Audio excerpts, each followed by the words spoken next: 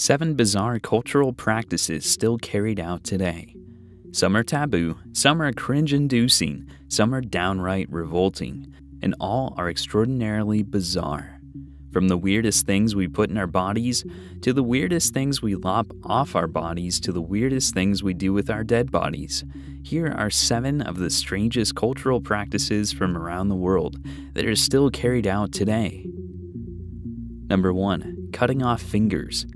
The death of a family member in the Dani tribe of Indonesia heralds a vast amount of emotional, and for women, physical pain. Aside from the inevitable emotional grief, women of the Dani tribe physically express that grief by cutting off by compulsion a segment of one of their fingers. Before being amputated, the fingers are tied with a string for 30 minutes to numb them. Once amputated, the new fingertips are burned to create new scar tissue. Number 2. Endocannibalism. The Yanomami tribe lives in the villages within the Amazon rainforest near the border of Venezuela and Brazil. They are known for their tradition of endocannibalism, consuming the flesh of a member of one's own tribe, usually after they've died. The bizarre cultural practices surrounding endocannibalism involve wrapping the corpse in leaves and allowing insects to pick at it 30 to 45 days later, the bones are collected, pulverized, and mixed into a banana soup to be consumed by all. After a year, the villagers consume the ashes, which are mixed with plantain soup. According to tradition, the ritual helps ensure that the souls of the dead find their way to paradise. Number 3 Bizarre Cultural Practices Living with the Dead. The Toraja people of Indonesia practice a truly singular ritual of exhuming the corpses of their fellow villagers, but it doesn't end there. The corpse is draped in special garments and paraded around the village. Even the bodies of children and bodies that are decades old are exhumed.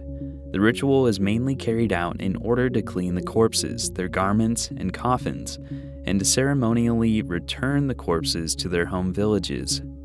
That is, if someone died outside the village, the corpse will be taken to the spot of death, then walked back to the village as an act of returning home. Number 4. Ainu Bear Worship. The Ainu people, indigenous to parts of Japan and Russia, have a custom of sacrificing bears. The sacrifice is religious in nature, as it is believed that bears are gods walking among humans, and the sacrifice of the bear is said to bless the soul of mankind. Of course, to outsiders, the practice is rather gruesome. It involves slaughtering a hibernating mother bear in her cave, raising her cubs in captivity for two years, then choking or spearing them as a sign of religious devotion. This is followed by villagers drinking the bear's blood, eating the flesh, and placing the skull atop a spear wrapped with the bear skin, which is to be worshipped. Though the practice is no longer widespread, it does still occur in some areas. Number 5 Bizarre Cultural Practices Self flagellation. Shiite Muslims are well known for their martyrdom, and Ashura is no exception. Ashura is an event recognized by many Muslims around the world for various reasons. For some Shiites, the day is observed in commemoration of the death of Imam Hussein, a grandson of the Prophet Muhammad, at the 7th century Battle of Karbala. Hussein, along with his comrades, was repeatedly struck on the head with daggers. Today, select men join a procession and flagellate themselves with daggers to the head, among other means, in order to pay tribute and absolve sin. People spill their own blood and those of their relatives to mourn the fact that they were not being present to save Hussein. Number 6. Carrying your wife over burning coal. While not wholly specific to China, an interesting traditional Chinese custom says that a husband should carry his bride over a pan of burning coals before crossing the threshold of their home as husband and wife. According to tradition, the ritual ensures that the wife will have an easy and successful labor.